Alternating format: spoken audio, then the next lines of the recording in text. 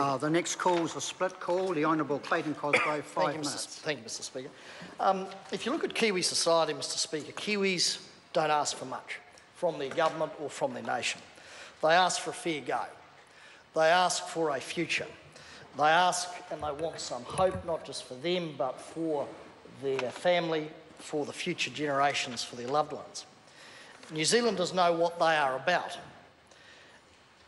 The last uh, minister talked about the Prime Minister's statement and the vision and the great words and the great slogans that were in it. She talked, and I wrote it down, about a government that cares. She talked about a compassionate government, sir. But there was one word and one phrase in the Prime Minister's statement that was evidence today that didn't appear, I should say, in the Prime Minister's statement, and that was the word Keytruda. And we had, sir, a display today in the Parliament where members of the public presented a 45,000 person petition. Uh, people sat in the gallery, sir, watching the toing and froing of question time. And they are people, sir, who are fighting for their lives quite literally. We had a couple of individuals come to our caucus meeting this morning to talk about, sir, the fact that in uh, both cases they were effectively told it was lights out. They were not coming back. The go home, as my colleague said, and die was the message. There is nothing that can be done.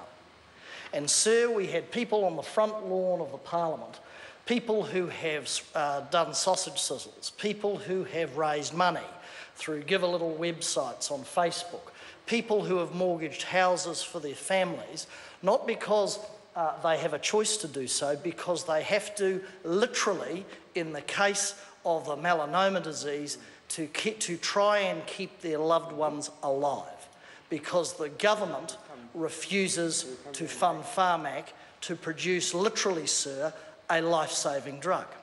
As Annette King has said, there is no first line or front line treatment like chemo or radiotherapy for this disease.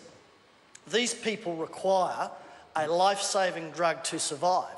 And this is not sort of, you know, the old green lip mussel sort of magic potion stuff that we had a few years ago. So, no, these are people who were told go home and die, who funded this medication themselves and are now living today.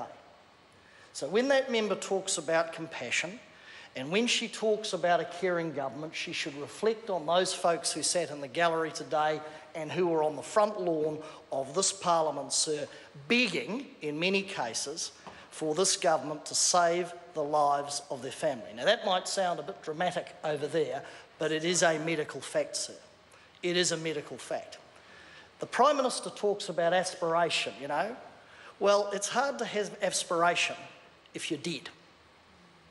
It's hard to have aspirations, sir, if your whole life as you move to retirement is about mortgaging your home, going on Facebook to beg the public for some money, uh, going and running galas and other things, because that's what you literally have to do to ensure that those you love who are victims of this awful disease can have their lives saved.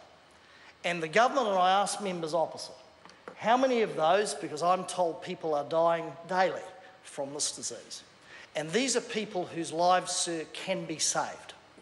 And I ask members opposite, I ask the Minister of Health, as he says Pharmac might get some more money, or the Prime Minister says we'll have to wait and see till the budget. And every day we wait, and every day we procrastinate, or the government procrastinates, sir, people literally die.